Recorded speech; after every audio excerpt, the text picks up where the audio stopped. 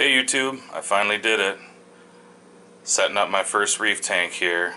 Stay tuned and I'll show you what it's all about.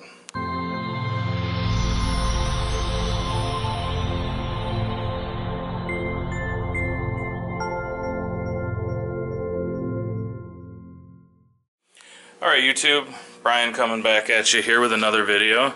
Um, as you can see, I've got myself my first ever saltwater tank. It's going to be a reef tank. Um, I've got the BioCube 29 by uh, Coralife, and so far I'm really liking it. I picked up the stand that comes, or the, the stand that's made for it that you can buy with it. And right now it is on day 16 of a cycle. I'm doing a fishless cycle and uh, what I'm using to help with that is two chemicals. For the first eight days, I use Seachem Stability as per the directions.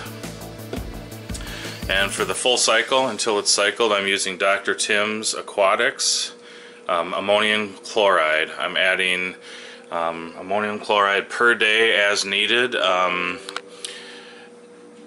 anytime that the ammonia level drops below 0.5. So um, that's kind of what I'm doing as far as that goes. Hopefully this thing will be cycled within 21 days. Um, I'm following the exact same steps that um, my good buddy Scott, Cyberaquarist, used when he set up his reef tank about a year and a half ago. Um, he's been helping me tremendously uh, throughout the whole process, helping me pick the right equipment, pick the right, uh, just everything. So it, most of you guys know who he is already, but if you're not familiar with Cyberaquarist, make sure you check out his YouTube channel. I'll try to remember to post a link below. Alright, so I thought I would take you through um, everything that I've uh, purchased and, and, all the parts and pieces to the reef tank. Uh, let's just start with the um, substrate and the rocks. Um, I've chosen to go with the Key Largo rocks from, uh, purchased them from Marco Rocks. They are not live rocks, they're dry rock, and I chose to do that so that I didn't have to worry about any unwanted uh, pests or anything coming in with the rock. I'll introduce everything myself to this environment. And then for the sand, I use the Tropic Eden um, Tonga reef flakes and mini reef flakes. I used a 50 50-50 uh, combo, stirred them together, mixed them together, and uh, it's, it's doing real well. What I thought I'd talk about next is the equipment that I'm using within the tank.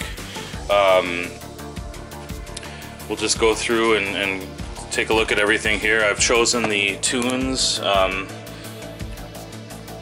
9004 skimmer. This is not in place yet because you don't need to use the skimmer while you are cycling the tank. I've heard great things about this. It fits perfectly within the back sump area of the BioCube. Um, it's been highly recommended from a few different people. So I went ahead and used this. I've heard great things about it and I'm looking forward to seeing how it works. Um, as far as uh, water movement, I chose the uh, the MP10 by Vortech. Excuse me, not by Vortech, Ecotech Marine. It's the MP10 Vortech. Um, I think I've literally found the last one available on the internet. Sorry, you just heard my dryer buzzing there. Um, these are discontinued, but are a really good pump, and uh, we're at a really good price as they were, as all the different vendors were getting rid of them. They've since gone to another one that's got wireless capabilities. And then there's another one that's not wireless that is kind of supposed to be quieter, but honestly, I don't know how you can get any quieter than this. Um, it's installed in the tank. I don't hear a thing. Um, it's uh, a magnetic attachment. Here is the unit uh, to control everything. Right now I've got it set on lagoon mode and uh, um, haven't really messed around yet with all the different settings, but um, yeah, you can see uh, creates quite a bit of agitation as well as my sump return, both of them together. if you can see that back there. But yeah, great unit. Also does come with a sponge that you can put over uh, the interior, but I chose not to do that. Okay, so the next piece of equipment I'm going to talk about is my auto top off system. I chose the uh, JBJ auto top off unit. And then I've got two Tom's Aqualifters used to um, bring the water from the reservoir up to the tank. What I've chosen is a five gallon tank as my water reservoir. This has got just RO water in it.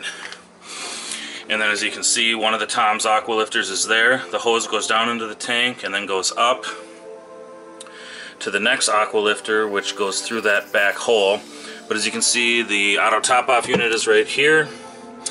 I've got the uh, adapter so that both Tom's Aqualifters can plug into the bottom of it. That way when it's when it tells the pumps to go, both of them go at the same time.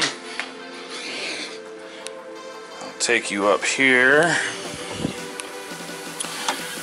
And this is the sensor. It's got a float. It detects the water level. When the water level is too low, it kicks on the pump. Go ahead and raise it up right now so you can see how it works. And as you can see, water start the pumps activate and water starts coming out right here. Pretty sweet. Uh, I want this reef to be as low maintenance as possible. So keeping the water topped off automatically is just one way to do that. All right, the next piece of equipment is the heater. I chose the Cobalt Aquatics uh, Neotherm 100 watt. Nice thing about it is it's real streamlined and it fits perfectly in this chamber of the sump back here so that I can see it through the window. Uh, it's moved a little bit, but you get the idea. See, there's the heater right there. Heard great things about it. The uh, slim design and durability is something that's going to work out real well and it fits back in the sump so that everything is um, out of the tank. Couple other things I wanted to talk about are um, the media and whatnot. Um, I've chosen two eShopps sponges, uh, sump sponges. They are not in right now because the tank's cycling, but they will fit into um, the chambers in the back sump. I've taken out everything that came with it as far as all the media and that type of stuff. I'll show you right here. It's all in the bucket. All the bio balls that came with it, sponges and everything. Everything. I've decided not to use any of the stock items. For the cycle, well, not just for the cycle, but for my media, what I'm using is Pond Matrix. I've got it here in a fruit bag. Um, and uh, that's going to give me great biological filtration and I won't have to worry about anything else. So basically in the back there what you're going to see when everything's set up is sponges, the skimmer, and the bag of, uh, of Pond Matrix and then I'll also have um, some carbon or some uh, ChemiPure blue in there as well.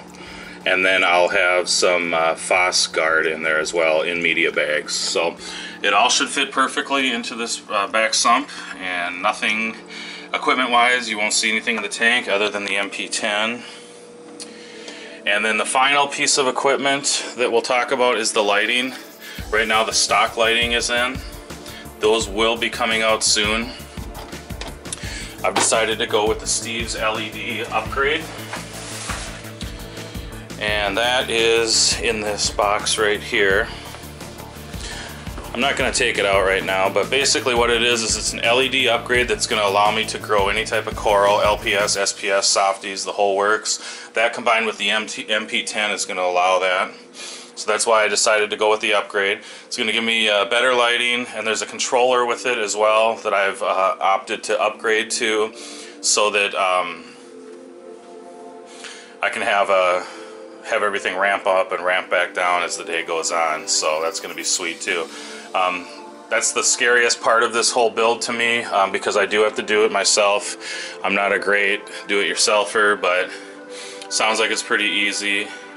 Um, to take out the old light and the new light fits perfectly. It's custom made for the BioCube. Steve's LED, check them out if you're ever looking to do an upgrade for your BioCube. Other than that, uh, there's not much else to go over. Um, I'm going to keep you guys updated as I install things, as I, uh, I'll try to do a video on the uh, light upgrade. And when I um, finally add uh, corals and fish, I'll keep you guys upgraded or updated. But uh, just wanted to do a, kind of a an intro video here to what I'm doing as far as this goes. Show you guys the equipment, show you guys my setup. Again, this is going to be a very low maintenance reef once everything's up and running.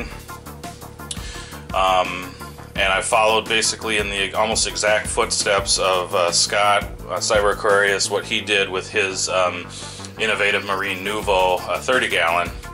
Um, so um, I'm looking for very good results. As you know, his looks awesome. So thanks for watching, guys. Uh, make sure you subscribe uh, to all the members of Team Aquatic Support. The links to their YouTube channels will be below.